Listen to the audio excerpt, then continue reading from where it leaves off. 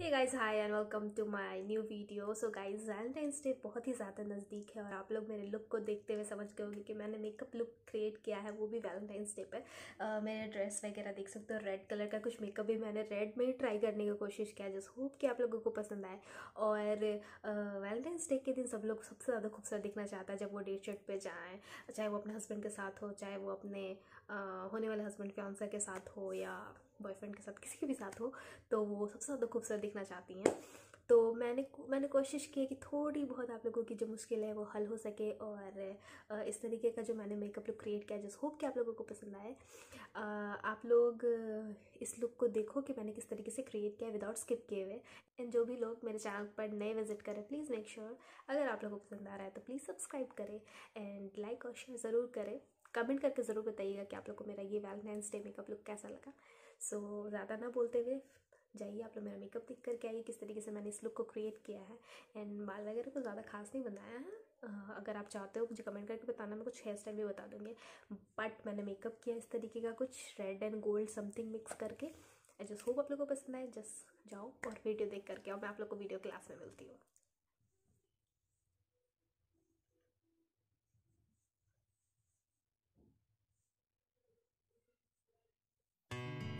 सो so guys यहाँ पे मैंने सबसे पहले अपने फेस को एक वाइप्स की हेल्प से अच्छे से पोछ लिया है सो दैट जितना भी मेकअप वगैरह है या जितने भी डर्ट्स हैं, वो सारे निकल गए मेरे फेस के, आप देख सकते हो।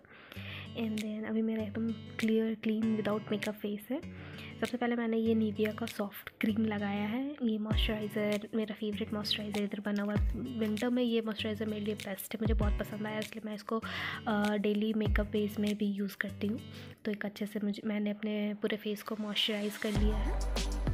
And then I apply my favourite इट्री oil ये सिरम है जो कि मेकअप करने से पहले मैं अप्लाई करती हूँ पहले मैं नाइट में भी इसको अप्लाई करती हूँ सोने के टाइम पे। तो इससे क्या होता है कि मेरा पूरा फेस जो है ना, वो बहुत ही अच्छा हाइड्रेटेड रहता है एंड शाइन रहता है उसके अंदर।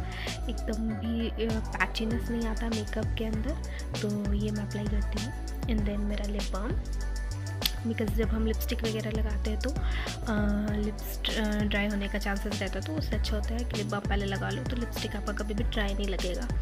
एंड देन मैं अप्लाई कर रही हूँ मेरा प्राइमर हुडा ब्यूटी का है ये मेरा प्राइमर एंड मेकअप करने से पहले ये बहुत ही अच्छा सा एक कवरेज बना देता है आपके फेस पे, एक ताकि मेकअप जो है आपके पोर्स तक ना जा पाए। फिर मैं यहाँ पे अप्लाई कर रही हूँ कंसीलर यहाँ पे इसलिए अप्लाई कर रही हूँ बिकॉज़ मेरा जहाँ जहाँ पे हल्का हल्का डार्कनेस है, जहाँ जहाँ पे रह गया भी बहुत डार्कनेस कम हुआ है, जहाँ जहाँ पे स्टिल है, वो सारे कवर हो जाए। तो मेरा आप देख सकते हो, यहाँ लिप्स एरिया थोड़ा डार्क है। एंड थोड़ा सा अंडर आई के पास भी मैंने कर लिया, हालाँकि है नहीं बट स्टिल मैंने कर लिया।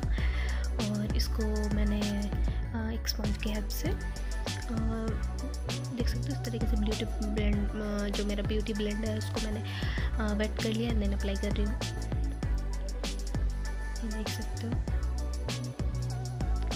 बहुत ही अच्छे से अप्लाई करना है इसको। इसको लगाने पे जितने भी ड्राई ब्लैक स्पॉट्स वगैरह होते हैं, सारे चीज़ रिड्यूस हो जाते हैं ख़त्म हो जाते हैं। दिखते नहीं हैं। एंड देन मैं यहाँ पे अप्लाई कर रही हूँ, मेरा फेवरेट फेवरेट फेवरेट जो मेरा कंसीलर है और उसको मैं एज अ फाउंडेशन अप्लाई कर रही हूँ आज मैं ये।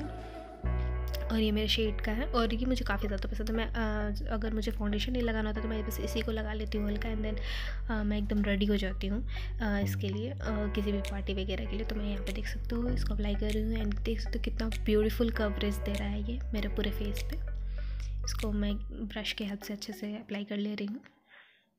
आप चाहो तो आप इसको ब्लेंडर के हेल्प से भी अप्लाई कर सकते हो एज वेल एज आप अपने हाथों से भी अप्लाई कर सकते हो।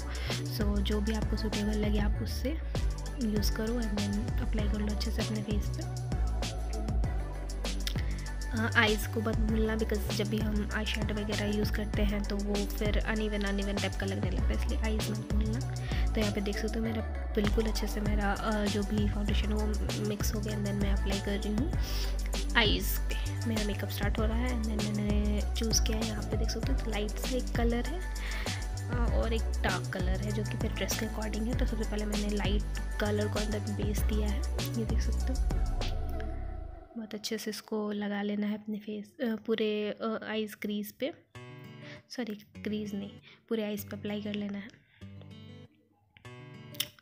ये देख सकते हो। इसी तरीके से आप लोग को अप्लाई कर लेना है। एंड देन मैंने जो डार्क शेड लिया था वो है थोड़ा सा ब्राउनिश मरूनिश शेड इसको मैं इस तरीके से कट करते हुए मेरे क्रीज लाइन पे लगा रही हूँ। ये देख सकते हो मैंने फ्लैट ब्रश की हेल्प लिया है। आप चाहो तो आ, किसी भी ब्रश के हेल्प से अगर आपसे लग पाता है ये प्रॉपर तो फिर आप आ, फ्लैट ब्रश ना लेते हुए भी कोई भी ब्रश ले सकते हो। या अपने फिंगर्स का भी यूज़ कर सकते हो। तो इस तरीके से मैंने आई के क्रीज पे लगा लिया है। देन मैंने गोल्डन कलर का ग्लिटर अप्लाई किया है यहाँ पे, जो मेरे जो आई लिड वगैरह था, उस पर मैंने ग्लीटर अप्लाई किया है। देन उसको अच्छे से मर्ज कर लेंगे ग्लीटर और फिर जो मेरा डार्क ब्राउनिश थोड़ा शेड है, उसको दोनों को मिक्स करते हुए इस तरीके से क्रीज एरिया को फिल कर लेंगे। ये देख सकते हो कितना ज़्यादा प्यारा सा शेड एक आ गया है निखर करके और मेरा जो ड्रेस है वो भी इसी कलर का है गोल्डन ब्राउन का। तो इसी हिसाब से मैंने आज का मेकअप भी किया है। ये देख सकते हो इस तरीके से आप वैलेंटाइंस डे पे बहुत ही अच्छे से within ten minutes ready हो सकते हो।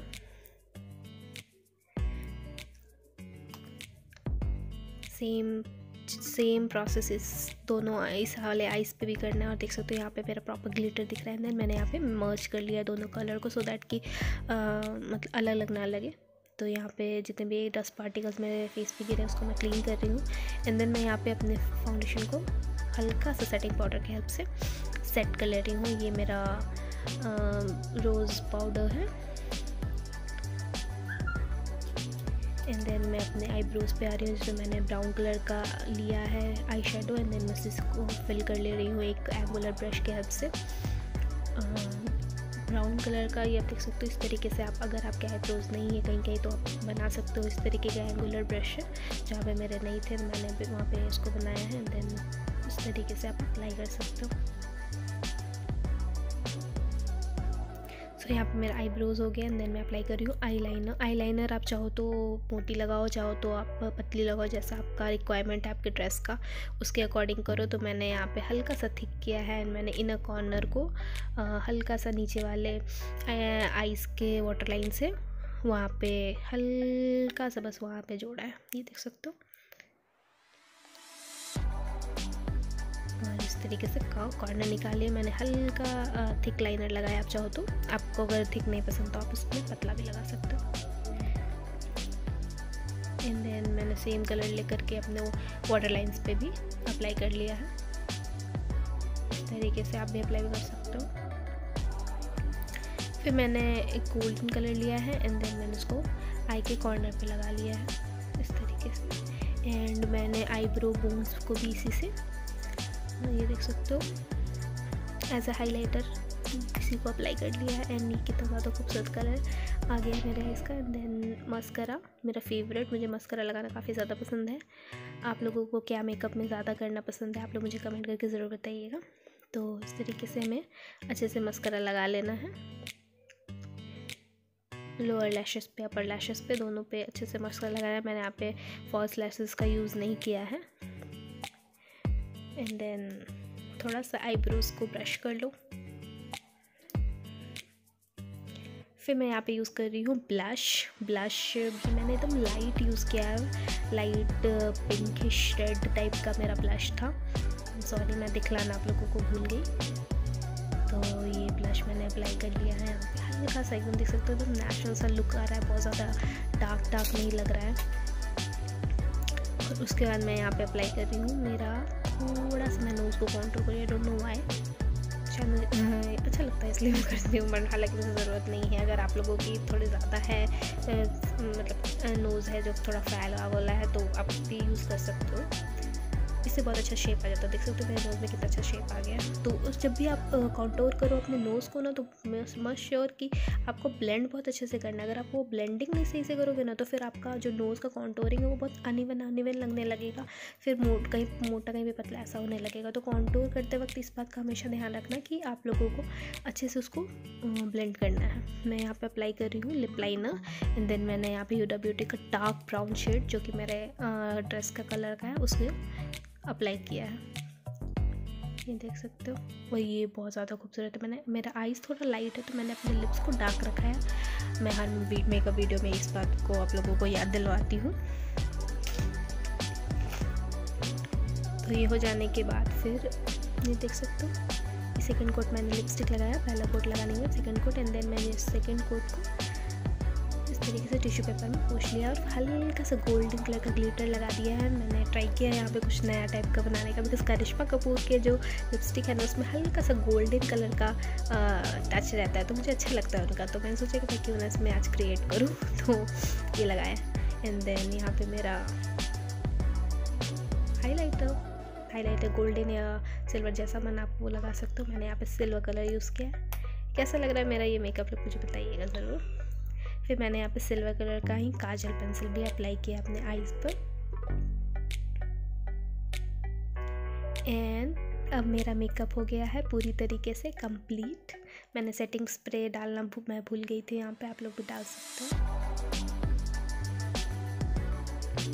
होप कि आप लोगों को ये पसंद आया होगा। सो so, मैं हो चुकी हूँ वैलेंटाइंस डे के लिए पूरी तरीके से रेडी आप लोग किस तरीके से रेडी हो रहे हो?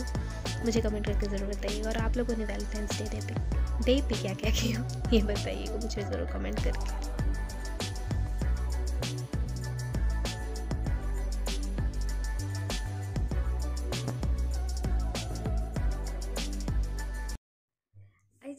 होप गाइस कि आप लोगों को मेरा ये वीडियो पसंद आया होगा। अगर पसंद आया तो please do like, share, comment and subscribe to my YouTube channel. And I meet you in my next video till then bye bye and advance में हैप्पी वैलेंटाइंस डे बाय